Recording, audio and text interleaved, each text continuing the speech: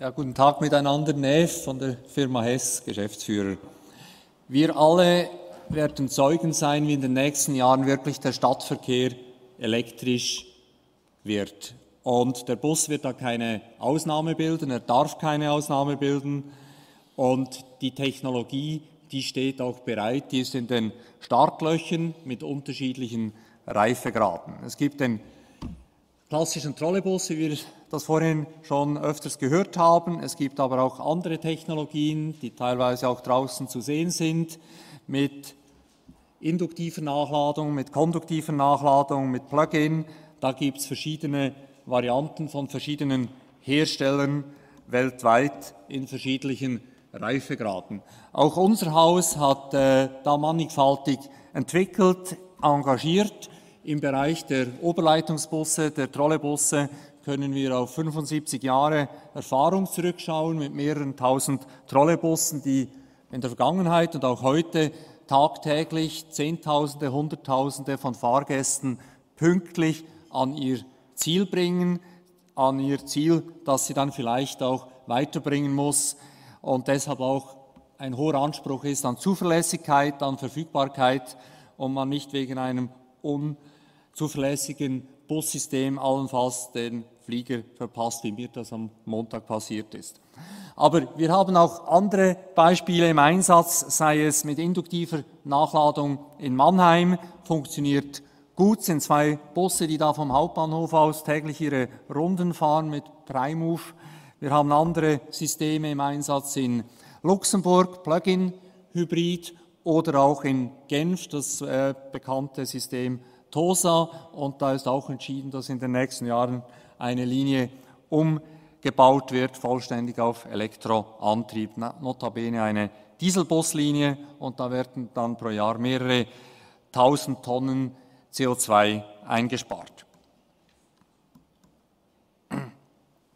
Ich habe es vorhin erwähnt, es sind verschiedene Technologien in den Startlöchern für diese Elektrifizierung mit unterschiedlichem Reifegrad.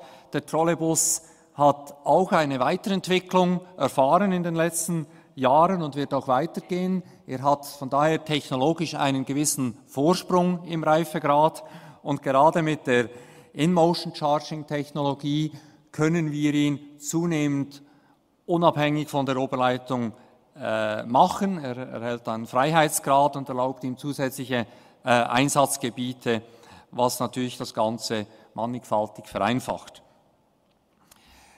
Es gibt dazu auch Nachrüstlösungen von bestehenden Trolleybusflotten, wo die klassischen Dieselgeneratoren ersetzt werden mit Batteriepaketen höchster, neuester Leistungsart und dadurch wirklich die Freiheitsgrade auf Linien erhalten, sei es, weil sensible Abschnitte sind im innerstädtischen Raum, sei, sei es, weil ein Neubauquartier erschlossen werden muss.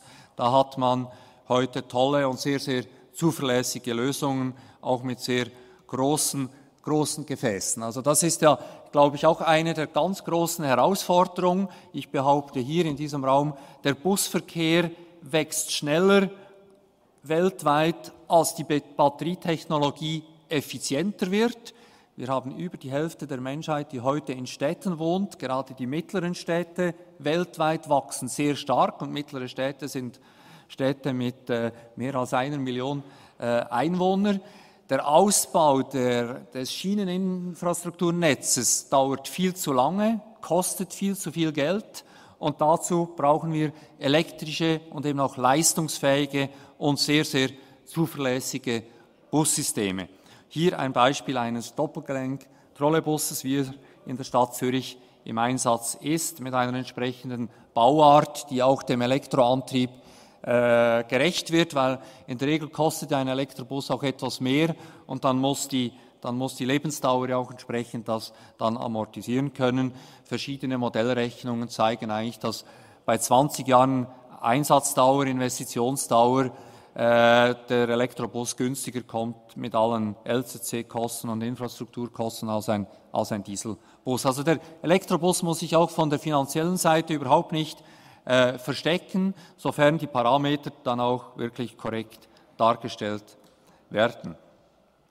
Entsprechend eben auch, wie es schon angesprochen wurde, die Möglichkeit, den Busverkehr sehr, sehr leistungsfähig zu machen, auch als, äh, als äh, ich will nicht sagen Konkurrenz zur Straßenbahn, aber doch als, als Segment zwischen Bus und Bahn äh, aufzuwerten, sei es durch eine sehr, sehr schnelle Realisierungszeit, das braucht nicht lange Planungsphasen, wesentlich kürzer als bei äh, Schienenprojekten. Er ist natürlich von der ganzen Investitionssumme her auch deutlich unter einem Schienenprojekt und äh, flexibel für weitere äh, Ausbauten. Hier ein Beispiel erneut aus der Stadt äh, Zürich. Und ich glaube, wir haben auch Vertreter aus Zürich hier im Raum. Wenn noch Fragen wären, sind da sicher auch Möglichkeiten, diese korrekt zu, be zu beantworten. Summa summarum, Elektrobusse und insbesondere der äh, Trolleybus leistet bereits heute einen markanten Beitrag in sehr vielen Städten für die Lebensqualität. Hier ein Beispiel aus Lausanne, wo man wirklich tagtäglich Zehntausende von Fahrgästen zuverlässig an ihren Bestimmungsort bringt und trotzdem die Qualität für die Anwohner, für die Geschäfte nicht reduziert und das in all den Möglichkeiten, sei es in kleinen Gefäßen, sei es als großes Gefäß. In diesem Sinne müssen wir nicht warten, noch Jahre, bis die Technologie reif ist, um auf Elektrobusse zu wechseln. Bestehende Systeme werden besser. Der Trolleybus bleibt ein professionelles Tool, das bereits heute einsetzbar ist. Besten Dank.